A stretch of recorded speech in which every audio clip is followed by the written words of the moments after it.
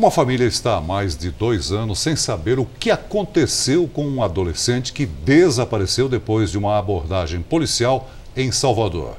O Ministério Público pediu a reabertura das investigações. Já são mais de dois anos sem respostas. O que aconteceu? Por que Davi sumiu? Quem são os responsáveis pelo desaparecimento? Todos os dias eu sonho, eu fico tendo pesadelos, eu fico imaginando o que aconteceu com ele. Davi Fiuza tinha saído de casa para ver a namorada na periferia de Salvador. Era uma sexta-feira, 24 de outubro de 2014. Passava pouco das sete da manhã.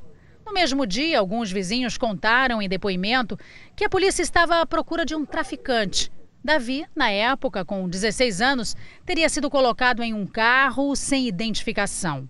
A investigação apontou o envolvimento de 23 PMs no desaparecimento do adolescente.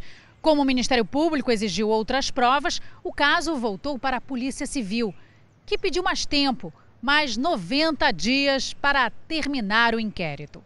O que nós estamos buscando é realmente algo robusto para poder você ingressar com a ação e dar a resposta necessária. Não me interessa ingressar com a ação e processar qualquer pessoa simplesmente para responder, porque com isso você aumenta a sensação de insegurança. A incerteza é o que mais dói, nos conta a irmã de Davi. Ela e a família nunca mais tiveram sossego. A gente só vai ter um descanso no dia que a gente souber toda a verdade, no dia que a gente puder fazer um enterro para ele digno.